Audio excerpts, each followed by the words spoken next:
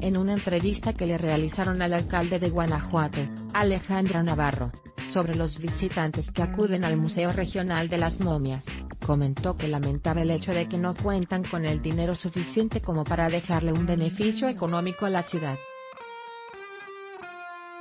Uno de los videos replicados en Facebook, lleva más de 568 mil reproducciones, y ha sido compartido más de 11 mil veces en las primeras 24 horas de su publicación.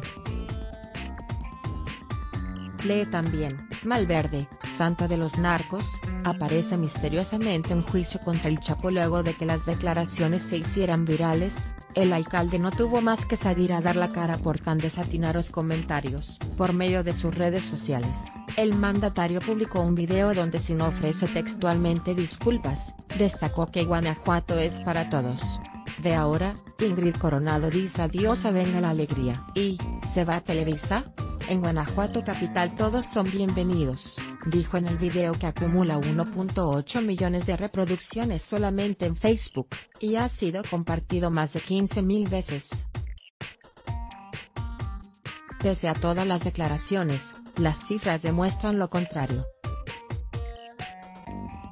Opuesto a lo que expresó el alcalde Alejandra Navarro, los turistas que visitan la ciudad de Guanajuato no son pobres, de acuerdo a las cifras del de 2017, cifra que equivale a 16 días de salario mínimo, 88.36 pesos barra día, superando a los 1.290 dólares que desembolsan en el resto del estado.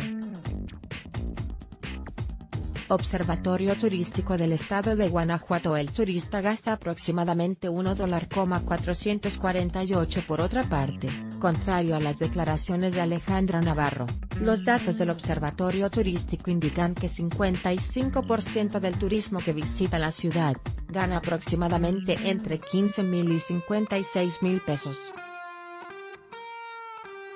Gran parte de los visitantes busca conocer los monumentos culturales de la localidad, así como sus museos y templos.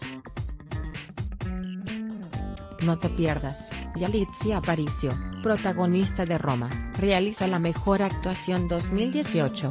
Time la coloca a Guanajuato como el sexto estado más visitado a nivel nacional. La capital, Guanajuato, está en el lugar 32 de la lista de los 50 lugares más visitados en el país, con un 42% de ocupación hotelera en todo 2017. Secretaría de Turismo Federal Guanajuato, México, Flomoson from Arturo Mauleón Vimeo.